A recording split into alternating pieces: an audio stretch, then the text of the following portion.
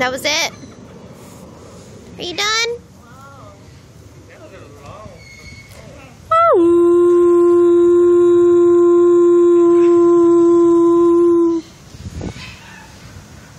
Alright, I guess you are done.